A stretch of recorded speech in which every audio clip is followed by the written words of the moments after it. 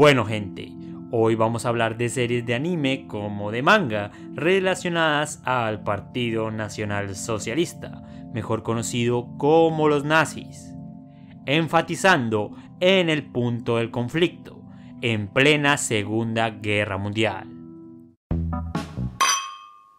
La primera serie de la cual vamos a hablar es Adolf Nitsugu, una obra centrada en tres hombres llamados Adolf. El primero se llama Adolf Kaumann, mitad japonés, mitad alemán. El segundo es Adolf Camille, un niño judío alemán. Y el tercer hombre es el temible dictador Adolf Hitler. Estos tres hombres están involucrados en la desaparición del hermano menor del reportero japonés Sohei Togei, nuestro protagonista, el cual está cubriendo los Juegos Olímpicos de Berlín en el año 1936. Habrá bastante investigación. Además se verá la frustración por la desaparición de este joven estudiante. La siguiente obra es Hitler, de Shigeru Mizuki. Estamos frente a una obra muy interesante, ya que se centra más en la terquedad, odio y resentimiento de Adolf Hitler.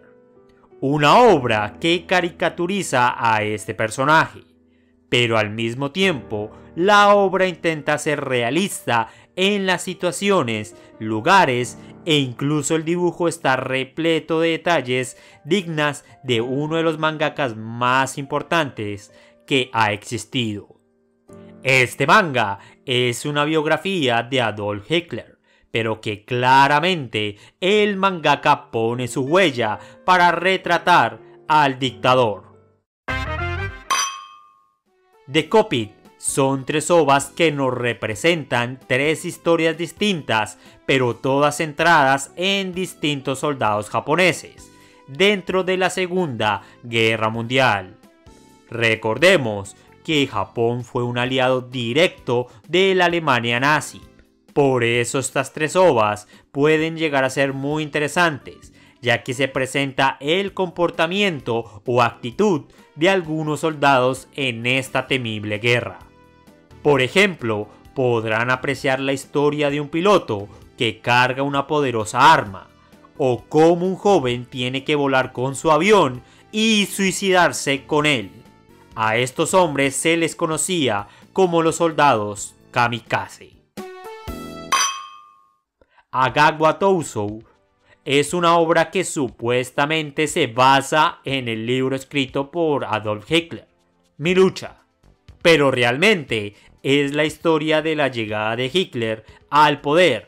Lo interesante es que Hitler es representado como un villano muy arquetípico y unidimensional, que puede ser algo gracioso hasta cierto punto. No es una obra muy destacable, pero al mismo tiempo no es muy larga. Igualmente, este manga fue lanzado en la serie de Variety Art donde podremos también apreciar un montón de obras basadas en novelas famosas o en personajes históricos.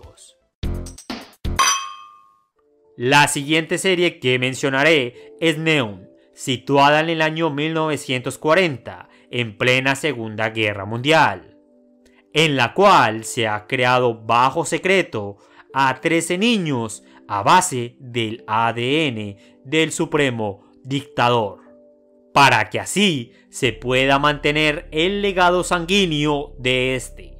Pero este proyecto será cancelado y los 13 niños van a ser eliminados. Aquí comienza la historia de nuestro protagonista, Neun, un joven que tendrá que huir de este aterrador régimen a toda costa. Ishinohana es un manga protagonizado por Kirlo, un joven inquieto y problemático que vive en un pequeño pueblo en el país de Yugoslavia. La obra se sitúa en el año 1941, exactamente cuando Alemania firma el acuerdo tripartido, un acuerdo político y militar entre Japón, Italia y la Alemania nazi para hacer frente a las fuerzas de los aliados. Lastimosamente, Yugoslavia terminará en este tratado, afectando la vida de este joven, que creyó que su pueblo nunca caería en esta temible guerra. Así que este joven intentará huir y buscar a su hermano en la ciudad de Zagreb para no ser utilizado por los nazis que invadieron su país. Horobishi Kemononotachi no Umi es un manga corto que tiene como su principal ambientación el mar. Pero en cada una de las cinco historias que veremos en este manga se sitúa en ambientes como el Amazonas o el Ártico. Igualmente, en este manga veremos el conflicto armado entre distintas fuerzas y claramente una de ellas serán los nazis. Big X es una obra escrita por Osamu Tezuka, donde veremos que un arma conocida como el Big X la cual permite expandir las capacidades del ser humano a límites insospechables. Esta arma se encuentra dentro de un joven llamado Shigeru, el cual tiene esta arma ya que su padre, el cual trabajó para los nazis en la Segunda Guerra Mundial, escondió este secreto del ejército y de Hitler pero esta decisión le costará la vida al doctor Asagumo, ya que será baleado, pero 20 años después, la nueva alianza nazi intentará terminar el proyecto Big X, el cual se encuentra dentro de Shigeru, pero este terminará haciéndole frente a este temible equipo. Y ya está. Hoy divulgamos sobre 8 series más. Ojalá les llame la atención alguna. Si no es así, seguirán llegando más vídeos de este tipo. Si no están suscritos, los invito a seguir el ritual habitual.